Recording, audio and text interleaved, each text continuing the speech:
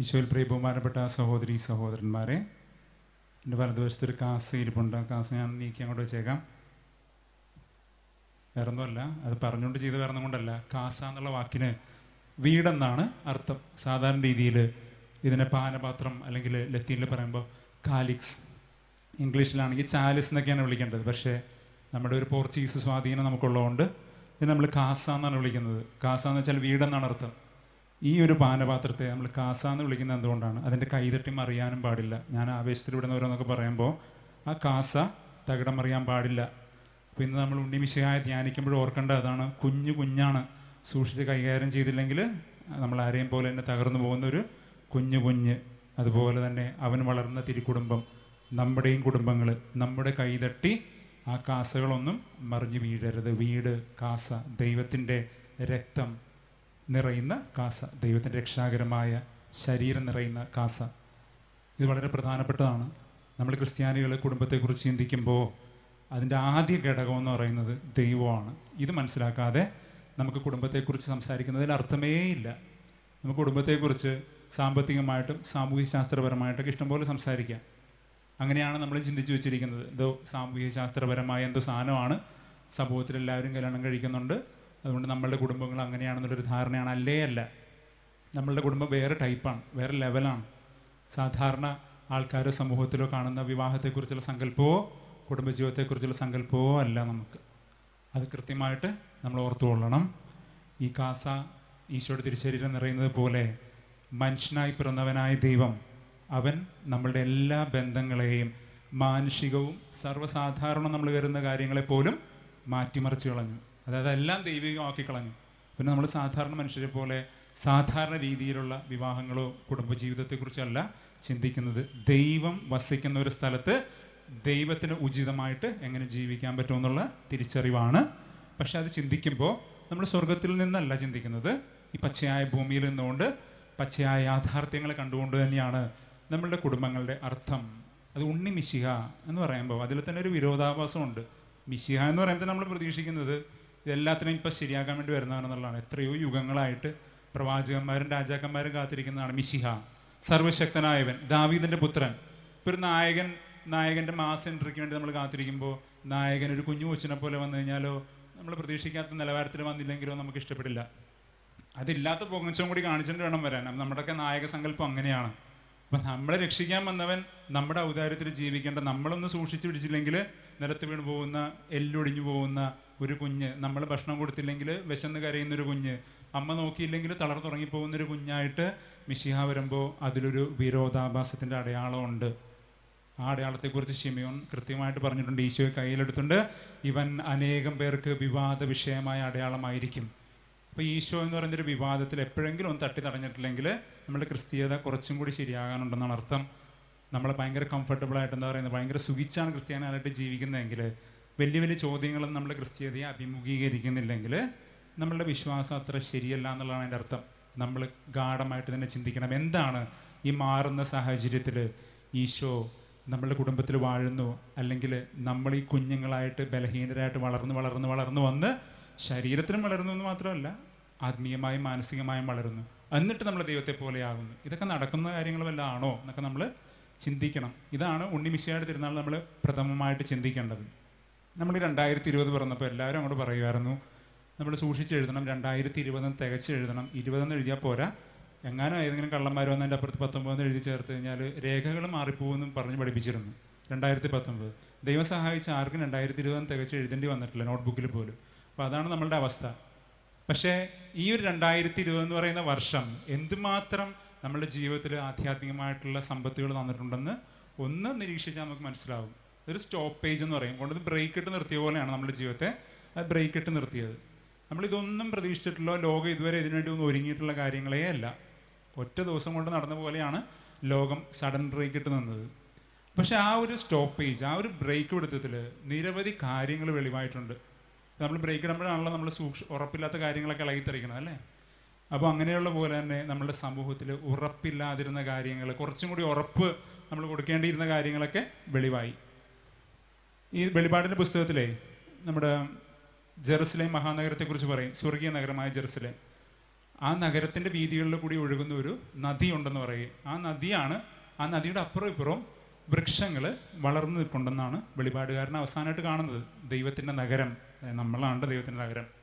ആ നഗരത്തിലൂടെ ഒഴുകുന്ന ഒരു നദിയുണ്ട്. ആ നദിയുടെ ചുറ്റും വൃക്ഷങ്ങൾ വളർന്നു നിൽപ്പുണ്ടെന്നാണ് പറയുന്നത്. എല്ലാത്തരം വൃക്ഷങ്ങൾ ഫലഭൂയിഷ്ടമായത് നമ്മളൊന്ന് ചിന്തിച്ചു നോക്കിയേ ഒരു നഗരത്തിന്റെ നടുവിൽ കൂടി മെയിൻ റോഡിൽ കൂടി ഒരു നദി ഒഴുകിക്കഴിഞ്ഞാൽ ആ നദിയിൽ എന്തായിരിക്കും കാണുന്നത്? ആ നഗരത്തിലുള്ള സകല മാലിന്യങ്ങളും അവിടെ കാണും. അപ്പോൾ ഈ ദൈവത്തിന്റെ ഈ നദി ഒഴുകുമ്പോൾ സത്യം പറഞ്ഞാൽ നമ്മുടെ മാലിന്യങ്ങളാണ് പുറത്തോട്ട് വരുന്നത്. എന്തിനു വേണ്ടിയാണ് ശുദ്ധീകരിക്കാൻ വേണ്ടിയിട്ടാണ് അത് നമ്മൾ ഒളിച്ചു പോകാത്ത വെച്ചിരിക്കുന്ന നമ്മുടെ മാലിന്യങ്ങളും നമ്മളുടെ കുടുംബങ്ങളിലെ സമൂഹങ്ങളിൽ നമ്മൾ വരുത്തേണ്ട മാറ്റങ്ങളൊക്കെ ഈ ദൈവനദി ഇളക്കി പുറത്തു കൊണ്ടുവരുന്നുണ്ട്. ശുദ്ധീകരിക്കാൻ വേണ്ടി തന്നെയാണ്.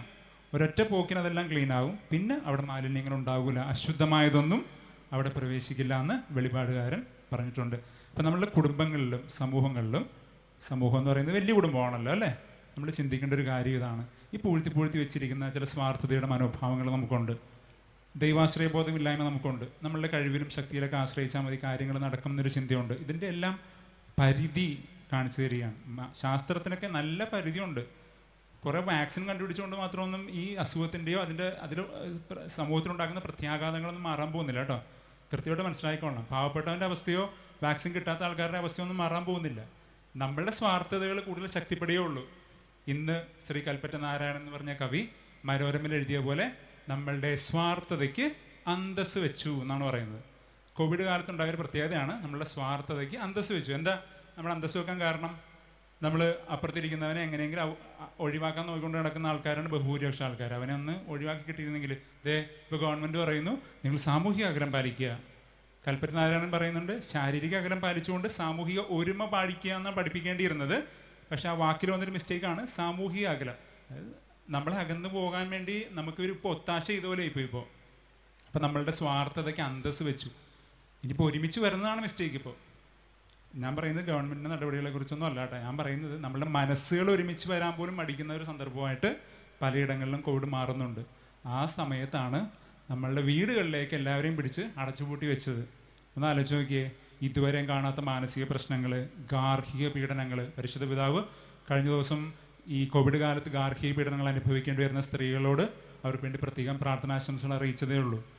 നമ്മൾ ഒരേ രക്തവും മാംസവും എന്ന് വരുന്ന കുടുംബത്തിലുള്ള ആൾക്കാർ ഇതുവരെ ഇല്ലാത്ത രീതിയിൽ ഒരുമിച്ച് ഒരു കുടുംബത്തിന്റെ അകത്ത് അടച്ചുപൂട്ടി ഇരിക്കേണ്ടി വന്നപ്പോൾ ഇതുവരെ നമ്മൾ അനുഭവിച്ചിട്ടില്ലാത്ത മാനസിക പ്രശ്നങ്ങൾ സങ്കടങ്ങൾ ഗാർഹിക പീഡനങ്ങൾ എന്താ ഇല്ലാത്തത്? ഇതിൽ നിന്ന് എങ്ങനെയെങ്കിലും ഒന്ന് പുറത്തു ചാടാൻ വേണ്ടി ആൾക്കാർ വെമ്പി നിൽക്കുന്നത് പോലെ നമ്മളൊന്ന് ധ്യാനിച്ചിട്ടുണ്ടോ? എന്തുകൊണ്ടായിരിക്കും നമ്മൾ ഏറ്റവും സുരക്ഷിതവും ഏറ്റവും സന്തോഷകരവും നമ്മൾ ചിന്തിക്കുന്നത്? ഏറ്റവും ഏറ്റവും അടിസ്ഥാനപരമായ ആ സമൂഹമാണ് കുടുംബം. അതിന്റെ ഉള്ളിൽ അടച്ചുപൂട്ടിയിരിക്കാനോ ഒരുമിച്ച് വരാനോ നമുക്കൊരു ബുദ്ധിമുട്ട് പോലെ. ഗവൺമെന്റ് തള്ളി വിട്ടിട്ട് പോലും നമ്മൾ ഇരിക്കാൻ പ്രയാസപ്പെടുന്നു. ഇനിയിപ്പോൾ അവിടെ വേണ്ടത്ര മധുരമില്ലെന്ന് തോന്നിയിട്ടാണ് എന്തോ നമ്മൾ ഇഷ്ടംപോലെ മധുരപലഹാരം ഉണ്ടാക്കാൻ പഠിച്ചല്ലേ ഹോം മെയ്ഡ് ഹോം മെയ്ഡ് സ്വീറ്റ്സും കേക്ക്സൊക്കെ നല്ല കാര്യമാണ്. നമ്മുടെ ഭവനത്തിന്റെ മധുരം നമ്മൾ വിളമ്പുകയാണ് നമുക്കും കഴിക്കുന്നു നമ്മൾ പുറത്തും കൊടുക്കുന്നു. അപ്പം അങ്ങനെയൊക്കെയുള്ള കുറേ ഗുണങ്ങളും ഉണ്ട് അതിന്റെ അകത്തുണ്ട് ഹോം മെയ്ഡ് എന്ന് പറയുന്ന ഒരു സങ്കല്പത്തിന് വളരെ അർത്ഥം വന്ന ഒരു കാലഘട്ടമാണ്. ഹോം മെയ്ഡ് കുടുംബത്തിൽ നമ്മൾ എന്താണ് ഉണ്ടായിക്കൊണ്ടിരിക്കുന്നത് എന്നുള്ളതാണ്. നമ്മളുടെ കുഞ്ഞുങ്ങൾ ഹോം മെയ്ഡ് ആണോ? കുടുംബത്തിന്റെ ഒരു സ്വാധീനം എല്ലാ കുഞ്ഞുങ്ങളിലും ഉണ്ട്. ആ കുഞ്ഞുങ്ങളെ നമ്മൾ എങ്ങനെയാണ് പടച്ച് പുറത്തോട്ട് വിടുന്നത്? ഇത് വളരെ കാതലായ ഒരു ചോദ്യമാണ്. ഈ ഉണ്ണി മിശിഹ എന്ന് പറയുന്നത് ഉണ്ണിയായി പിറന്ന് വലിയ പരിപൂർത്തിയിലെത്തുന്നത് നമുക്കുള്ളൊരു ജീവിതപാഠം തന്നെയാണ് കാരണം എന്ന് വെച്ചാൽ ദൈവത്തിന് ഇപ്പം എന്താ പെട്ടെന്നൊരു ദിവസം ഏതോ ഒരു കാട്ടിൽ പ്രത്യക്ഷപ്പെട്ടിട്ടോ അല്ലെങ്കിൽ മരുഭൂമിയുടെ അകത്തളങ്ങളിൽ നിന്ന് പുറത്തോട്ട് വന്നിട്ട് ഇതാ ഞാൻ മിശിഹ എന്ന് പറയാറുണ്ടല്ലോ? പറഞ്ഞില്ല.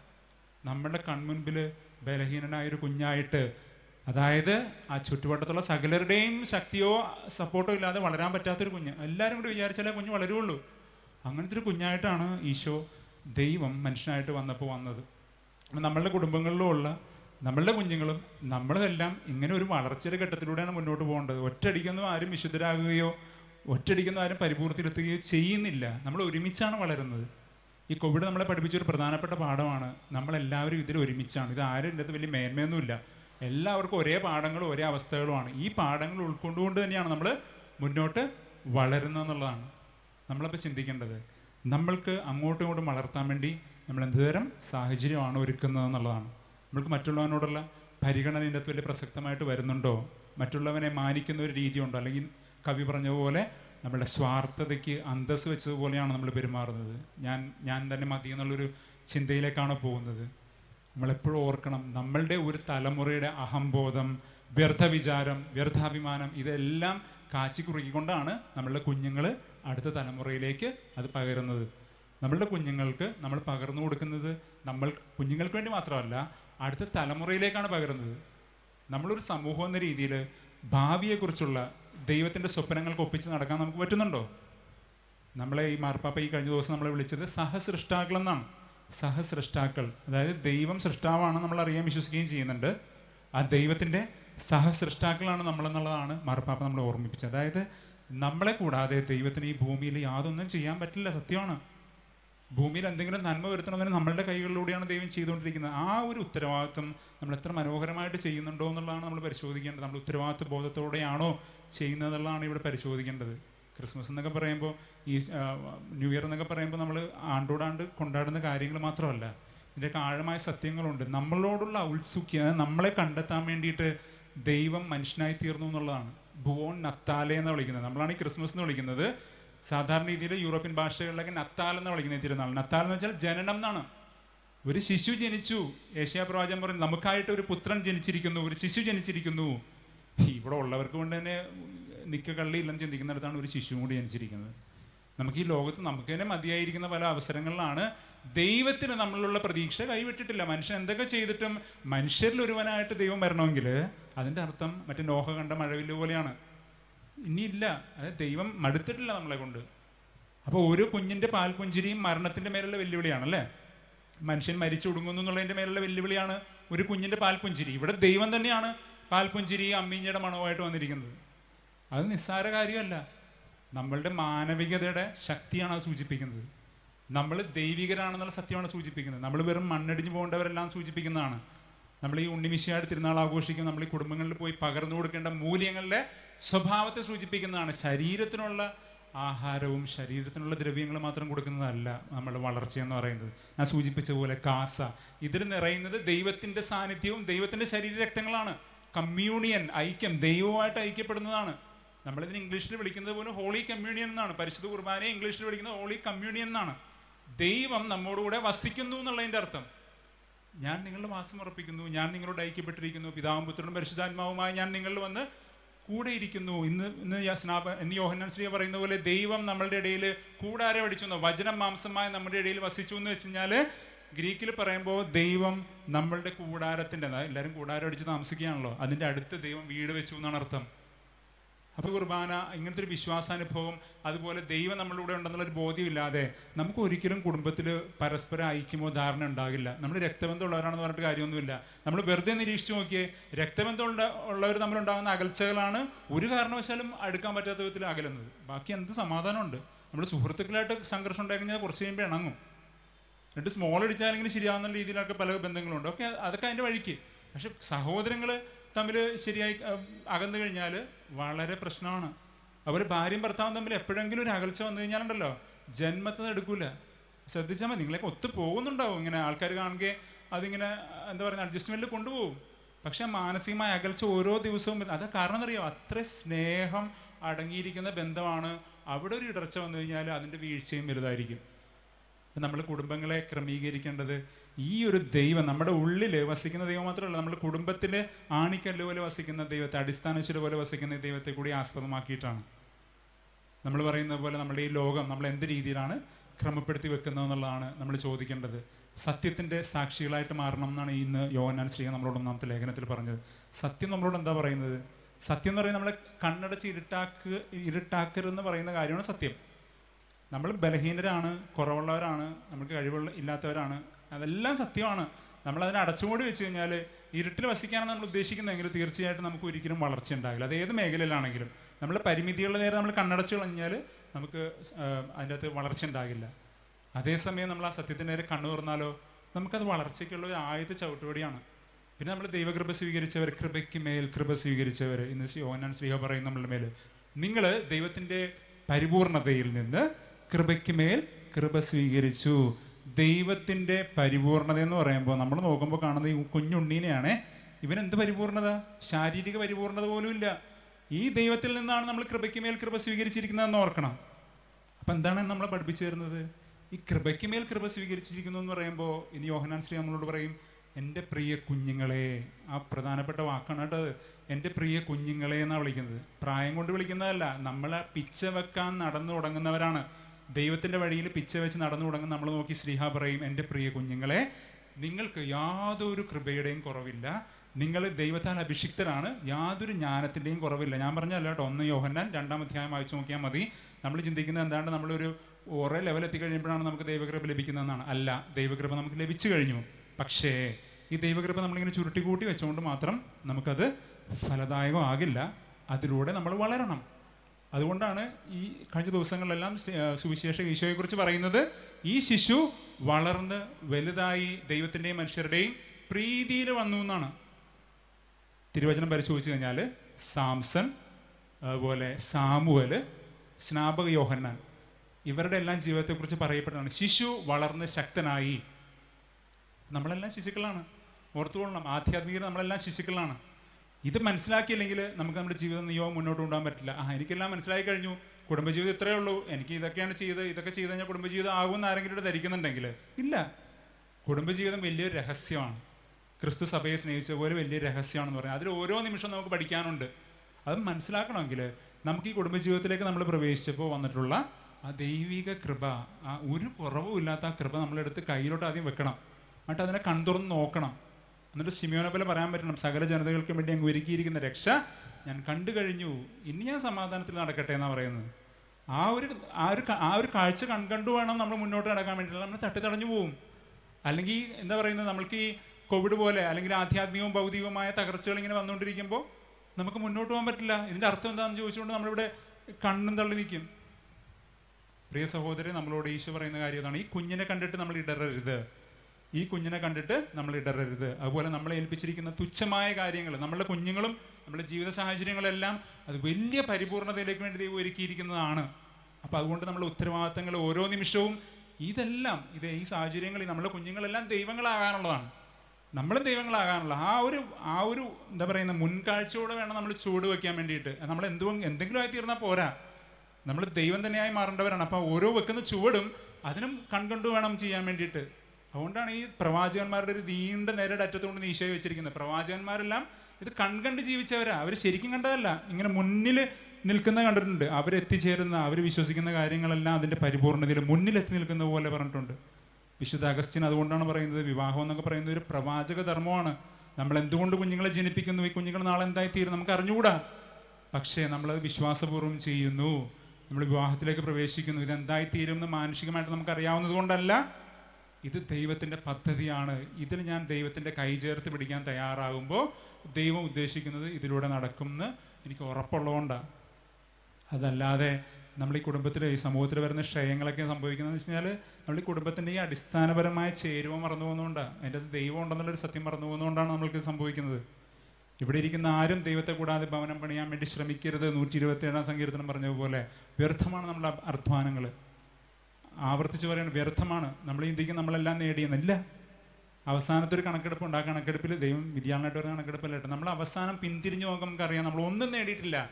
നമ്മൾ ഉറപ്പിച്ചു വെക്കാൻ ശ്രമിച്ചതെല്ലാം ഈ പറയുന്ന പോലെ മണൽപ്പുറത്ത് ഭവനം പണിയാൻ ശ്രമിച്ചവനെ പോലെ പോകും കാറ്റും കടലും വരട്ടെ. അപ്പോഴാണ് മനസ്സിലാകാൻ പോകുന്നത്. വെറുതെ ഇരിക്കുമ്പോൾ ഭവനം അവിടെ ഇരുന്നോളും മണപ്പുറത്ത് പക്ഷേ കാറ്റും കടലും വരുമ്പോൾ വെള്ളം പാഞ്ഞു വരുമ്പോഴാണ് നമ്മൾ മനസ്സിലാക്കാൻ പോകുന്നത് പതിയിരിക്കുന്ന ചതിക്കുഴികൾ ഈ കോവിഡൊക്കെ വെളിവാക്കി തരുന്ന അതാണ്. നമ്മൾ പ്രതീക്ഷിക്കാത്ത ചില വെള്ളപ്പാച്ചിൽ പോലെ ഇങ്ങനെ വരുമ്പോൾ നമ്മൾ മാറ്റിമറിക്കേണ്ട കാര്യങ്ങളൊക്കെ അത് ഇളക്കി മറിച്ച് തരികയാണ്. ഇനി ഇത് ശരിയാക്കിയിട്ട് നമുക്ക് മുന്നോട്ട് പോകാൻ പറ്റുള്ളൂ. ഇനി പഴയ രീതിക്ക് മുന്നോട്ട് പോകാൻ വേണ്ടി ആ രണ്ടായിരത്തി ഇരുപത് കഴിഞ്ഞ് വെട്ടി മാറ്റി സീറോ ഇയർ എന്നൊക്കെ പറഞ്ഞിട്ട് നമുക്ക് നമുക്ക് മായ്ച്ചു കളയാൻ പറ്റുന്നില്ല. കലണ്ടറിൽ മായ്ക്കാം. കലണ്ടറിൽ മായ്ക്കാം. ജീവിതാനുഭവങ്ങൾ നമുക്ക് മായ്ക്കാൻ പറ്റില്ല. കഴിഞ്ഞ് കഴിഞ്ഞു പോയ കാലത്തെ മായ്ക്കാൻ പറ്റില്ല. ആ അനുഭവങ്ങൾ നിങ്ങൾ തിരസ്കരിക്കാനോ ഞാൻ നിങ്ങളൊക്കെ തിരസ്കരിക്കാനാണ് ഉദ്ദേശിക്കുന്നതെങ്കിൽ രണ്ടായിരത്തി ഇരുപത്തൊന്നും വലിയ വ്യത്യസ്തമൊന്നും ആയിരിക്കില്ല. അതെന്ന് വെച്ചാൽ പ്രകൃതിക്ഷോഭങ്ങളെ കുറിച്ചല്ല കേട്ടോ പറയും നമ്മളുടെ ഉള്ളിലുള്ള നിലപാടുകളെ കുറിച്ചാണ് പറയുന്നത്. അപ്പോൾ ആ ഒരു തിരിച്ചറിവ് നമുക്ക് ഉണ്ടാകണം.